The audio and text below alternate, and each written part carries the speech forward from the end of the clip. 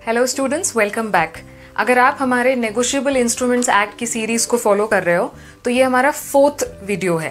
पहले तीन वीडियोस में हमने इंट्रोडक्शन देखा था नेगोशिएबल इंस्ट्रूमेंट्स के फीचर्स बिल ऑफ़ एक्सचेंज और प्रोमिसरी नोट के बारे में देखा था। आज का हमारा वीडियो डेडिकेटेड होगा सेक्शन सिक्स चेक्स के लिए। सो so, अगर आपको ये पर्टिकुलर वीडियो में कोई ऐसे वर्ड्स या कुछ ऐसे टॉपिक्स हैं जो आपको समझ नहीं आ रहे हैं, या मैंने रेफरेंस लिया है तो make sure you'll watch those three videos also so let's begin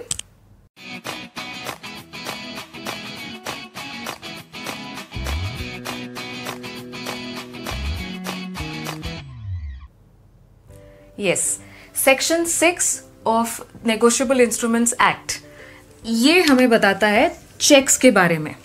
अब हम लोग बात कर रहे हैं नेगोशिएबल इंस्ट्रूमेंट्स की, और पहले लेक्चर में हमने देखा था नेगोशिएबल इंस्ट्रूमेंट्स में कौन सी तीन चीज़ें इंक्लूड होती है।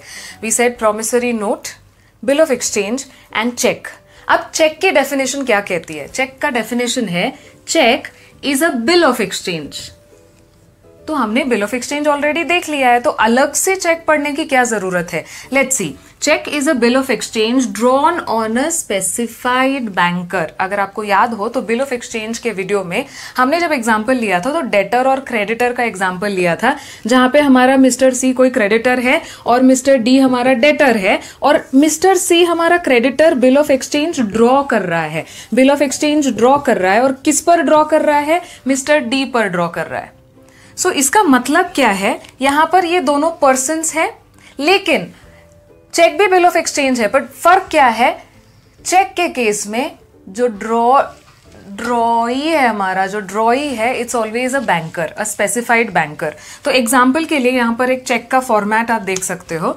पे लेट से मिस्टर रोहित पे मिस्टर रोहित और order rupees let say ten thousand ten thousand only और यहाँ पे बैंक का नाम लिखा है। अब होगा क्या? लेट्स से ये हमारा मिस्टर डी है। मिस्टर डी है, जिसकी अकाउंट है तो मिस्टर डी ने यहाँ पे साइन कर दिया। ये टेन थाउज़ेंड रुपीज़ पे करने हैं। तो अब होगा क्या? ये जो चेक है मिस्टर रोहित बैंक के पास ले जाएगा, अपने बैंक में डिपॉजिट करेगा। लेकिन एक्चुअली पेमेंट कौन करने वाला है?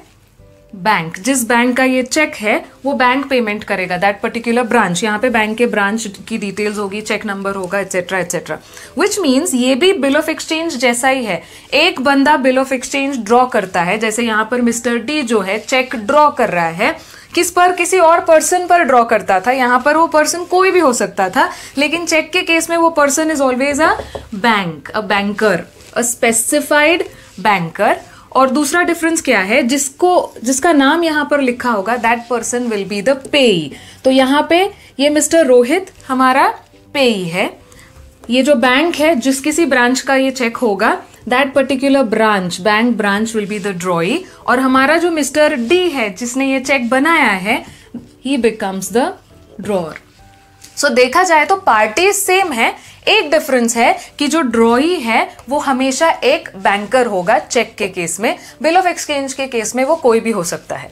आगे बढ़ते हैं। Bill of exchange cheque is a bill of exchange drawn on a specified banker and not express to be payable otherwise than on demand so यहाँ पे ये इंपॉर्टेंट है। Payable on demand payable on demand promissory note और bill of exchange के case में हमने देखा था।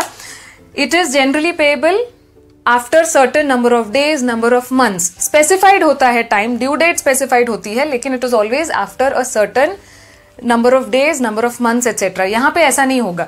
जब ये पर्टिकुलर पर्सन है, ये जो पे है, जब बैंक से पैसे मांगेगा बैंक को वो पैसे देने पड़ेंगे। इसका मतलब यहाँ पे payment is payable payment is made to be paid on demand अब ऑन डिमांड मतलब क्या? लेट से अगर हम यहाँ पर एक डेट लिखते हैं tenth June 2020 so tenth June 2020 को ये बिल बिल ऑफ़ एक्सचेंज जो कि चेक है, वो ड्रॉ किया गया और मिस्टर रोहित के हाथ में दे दिया. क्या सेम डे आईडीबीआई के लेट्स से पुणे के किसी भी एक ब्रांच में जाकर वो पैसे मांग सकता है? Yes yes.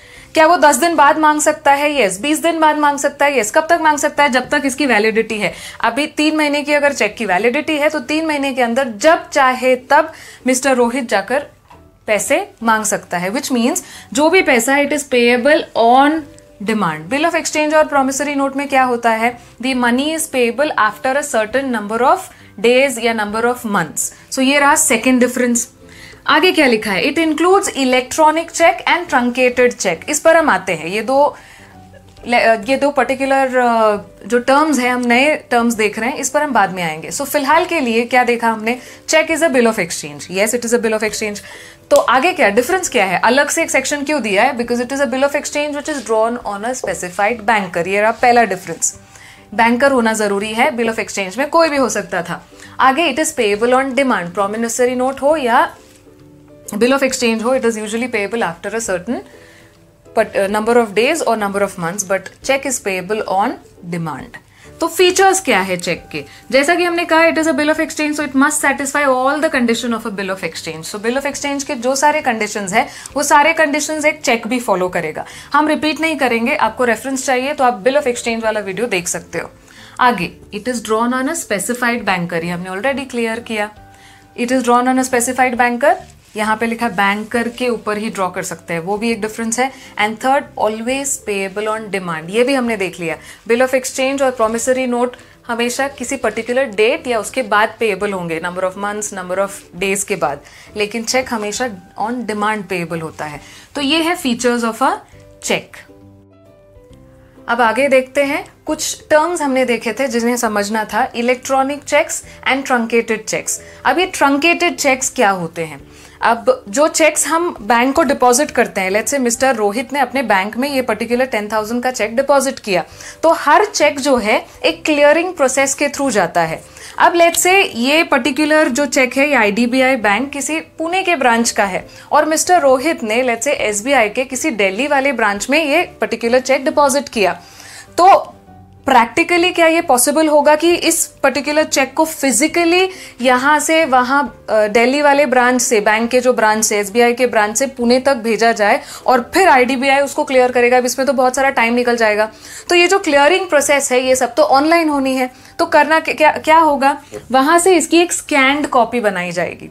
स्कैंड कॉपी को आगे फॉरवर्ड किया जाएगा क्लियरिंग के लिए। तो ये जो स्कैंड कॉपी है this is nothing but truncated cheque आजकल पहले ज़माने में फ़िज़िकल फॉर्म में फ़िज़िकल फॉर्म में चेक्स यहाँ से वहाँ भेजे जाते थे लेकिन अब क्लियरिंग प्रोसेस में हम ट्रंकेटेड फॉर्म ही यूज़ करते हैं तो that is the meaning of truncated cheque electronic cheque क्या है? अब जैसे आ, ये जो चेक है ये फ़िज़िकल चेक होगा जो पेपर पे है लेकिन अगर चेक की सॉफ्ट कॉपी बनाते वक्त ही चेक अगर सॉफ्ट कॉपी में बनी तो अब यहाँ पर एक पेपर की पेपर का इस्तेमाल किया गया है पेन होगा इंक होगा लेकिन अगर सॉफ्ट कॉपी में ही चेक बने तो जहाँ पर डिजिटल सिग्नेचर्स के थ्रू चेक्स को साइन किया जाता है, उस टाइप के चेक्स को हम इलेक्ट्रॉनिक चेक्स कहेंगे। यहाँ पर सिग्नेचर्स कैसे होते हैं? चलो, बाकी तो सॉफ्ट कॉपी बनाया चेक का समझ में आता है बट सिग्नेचर्स कैसे होते हैं? तो अगर आपने इंफॉर्मेशन टेक्नोलॉजी एक्ट पढ़ा है तो उसमें आपने एनक्रिप्शन डिक्रिप्शन के बारे में सुना होगा। तो डिजिटल सिग्नेचर्स उसी कंसेप्ट पर बेस्ड होंगे। तो जो भी हमारा ड्रॉअर है, वो अपना डिजिटल सिग्नेचर के थ्रू साइन करेगा और चेक बनाएगा। उसको हम कहते हैं electronic cheques so electronic cheques भी उसी तरह वैलिड होंगे जैसे ये वाले चेक्स होते हैं। So these were the two terms जो डेफिनेशन में कवर करने थे। इसके अलावा, इस सेक्शन में हम एक और चीज़ डिस्कस करने वाले हैं forms of cheque basically there are three forms of cheque bearer order and cross cheque अब हमारे सामने ये जो पड़ा है ना चेक अभी तक तो ये ऑर्डर चेक है। क्यों ऑर्डर चेक है? क्योंकि यहाँ पर मैंने मिस्टर रोहित का नाम लिखा है। रोहित का नाम लिखा है, इसका मतलब क्या? रोहित जाकर पैसे मांग सकता है। लेकिन अब यहाँ पर क्या है? अगर मैंने यहाँ दो लाइंस ऐसे खींच दिए, मैंने क्रॉसिंग कर दिया चेक का। जैसे ही मैंने दो ये ट्रांसवर्सल लाइंस क्रॉस डाल दिए यहाँ पर, इसका मतलब क्या है? अब ये जो पेमेंट है ओवर द काउंटर नहीं होगा। ये पेमेंट किया जाएगा only through a bank account so Rohit के बैंक अकाउंट में दस हज़ार रुपए आ सकते हैं। अगर ये दो लाइंस मैंने ड्रॉ नहीं किए हैं तो सीन कैसा है कि इस पर्टिकुलर बैंक ब्रांच के पास रोहित जाएगा वो अपना आईडी प्रूफ दिखाएगा दस हज़ार रुपए ले लेगा। सो so, मतलब ओवर द काउंटर ये पैसा पेएबल था। किसे पेएबल था? रोहित को पेएबल था। लेकिन जैसे ही मैंने ये दो लाइंस डाल दिए, अब क्या होगा? अब रोहित के पास अगर बैंक अकाउंट है, तभी उसे ये दस हज़ार रुपए मिलेंगे। तो इसका मतलब आपको ऑर्डर और क्रॉस चेक का मतलब समझ में आ गया। क्रॉस चेक ये होगा मतलब पेमेंट होगा only through a bank account और ऑर्डर चेक मीन्स हमने ऑलरेडी नाम लिखा है। लेकिन अगर किसी का नाम नहीं लिखा है तो? लेट्स से रोहित का नाम नहीं लिखा है। चेक क्रॉस भी नहीं किया और रोहित का नाम भी नहीं लिखा है। तो ये बन जाएगा बेरर चेक इसका मतलब जिस किसी का जिस किसी के हाथ में ये चेक होगा that person can get the money so bearer cheque order cheque और क्रॉस चेक सो बेसिकली ये जो क्रॉसिंग है, हमने ये जो क्रॉसिंग देखा, इसके भी बहुत सारे टाइप्स होते हैं. यहाँ पे क्रॉसिंग ये जो दो लाइंस है, इसके बीच में आप अकाउंट पे ही डाला हुआ देखा देखा होगा. या फिर आपने देखा नॉट नेगोशिएबल लिखा है, या फिर किसी पर्टिकुलर बैंक का नाम लिखा हो सकता है ये दो लाइंस के बीच में. तो वो हम डिस्कस करेंगे हमारे नेक्स्ट वीडियो में types of crossings of a cheque फ़िलहाल के लिए इस वीडियो में इतना ही। हमने डिस्कस किया फीचर्स ऑफ़ अ चेक क्या है ये cheque cheque is a bill of exchange फिर फ़र्क क्या है? It is a bill of exchange drawn on a specified banker specified banker ये हमारा पहला डिफरेंस है। It is payable on demand ये हमारा दूसरा डिफरेंस है। हमने कुछ और कंसेप्ट देखे, जैसे इलेक्ट्रॉनिक चेक्स और ट्रंकेटेड चेक्स क्या होते हैं? फीचर्स देख लिया और तीन फॉर्म्स देख लिए।